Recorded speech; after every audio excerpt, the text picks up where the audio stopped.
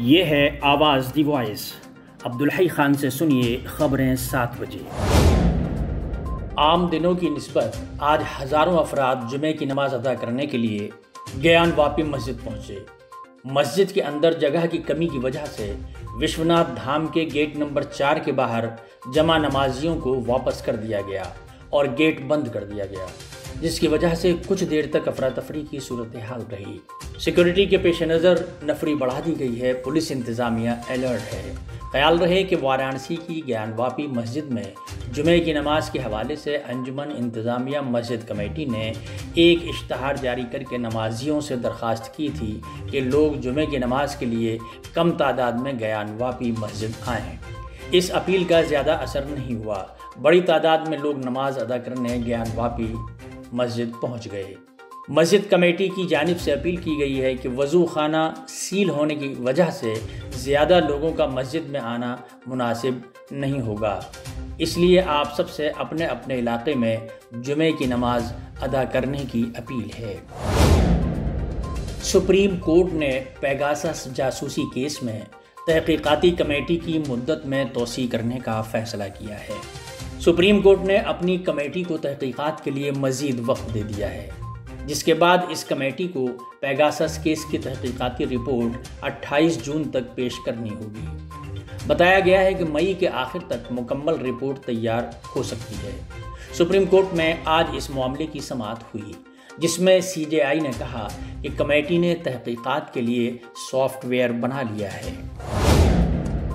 महाराष्ट्र नवनिर्माण सेना के कौमी सदर राज ठाकरे का पाँच जून को होने वाला अयोध्या दौरा मुलतवी हो गया है। इसकी जानकारी राज ठाकुर ने खुद ट्वीट पर करके दी। गुजशत दिनों पुणे का दौरा करने वाले राज ठाकुरे सेहत की खराबी की वजह से अपना दौरा मनसूख करके मुंबई वापस आ गए। मौसूला इतलात के मुताबिक राज ठाकरे की टांग में चोट आई है और सर्जरी का इम्कान है। मालूम के मुताबिक राज ठाकरे डॉक्टर से मशवरा करने के बाद ही दौरे के बारे में मालूम देंगे। जब से तालिबान ने अफ़गानिस्तान पर कब्ज़ा किया है, उसका असल चेहरा सामने आ गया है। ख़वातीन की दिलचस्पी, तालीम और मुलाजमत की आज़ादी की बात करने वाले तालिबान ने अब दूसरी बार अफ़गानिस्तान में ख़वातीन की ज़िंदगी अजीरन कर दी है। अपनी नई पाबंदियों में तालिबान हुकूमत पहले ही खवतिन पर बहुत सी पाबंदियाँ आयद कर चुकी है। अब जबकि तालिबान हुकूमत एक नए हुक्मनामे के साथ तैयार है, तालिबान ने टीवी चैनल्स पर काम करने वाली तमाम खवतिन प्रेजेंटर्स को प्रोग्राम पेश करते वक्त अपने चेहरे ढांपने की हिदायत की है। तुलू न्यूज़ ने ट्वीट करके ये इतला दी है।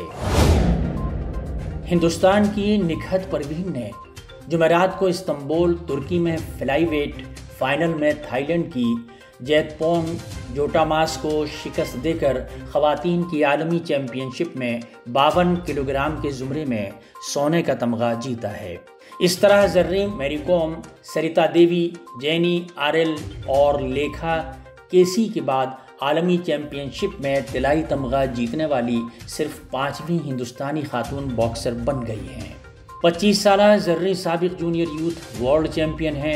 फाइनल में अपनी थाई हरीफ के खिलाफ जर्री ने शानदार मुकाबला किया और सोने का तमगा अपने नाम किया।